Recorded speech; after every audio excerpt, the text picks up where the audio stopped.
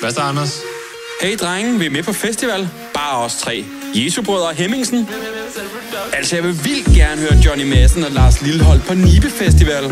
Hold nu kæft, Anders. Vi gider sgu ikke det der familiepis.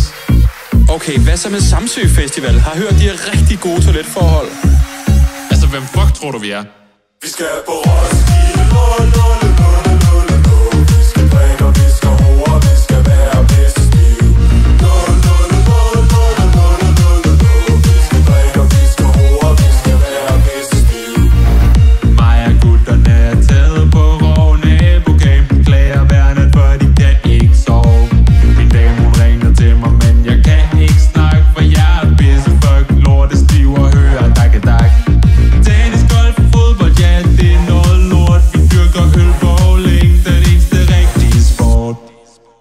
Okay, hvad så med Skanderborg? Danmarks smukkeste festival.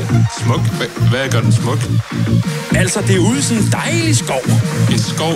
Jeg skal sgu da bare bruge en marker og en soundbox Altså, hvem fuck tror du, vi er? Vi skal på Roskilde,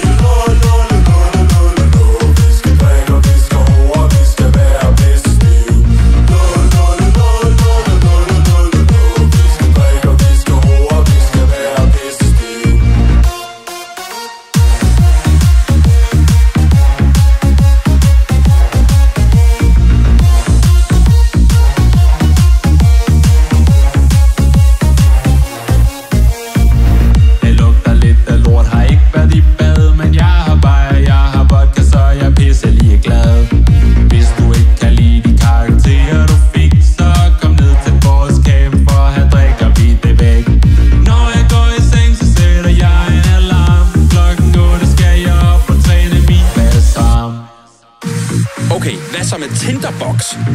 Mega fed festival på Fyn. Er Fyn ikke bare det der sted, man kører igennem, når man har hentet en trailer fyldt med bajer til Roskilde?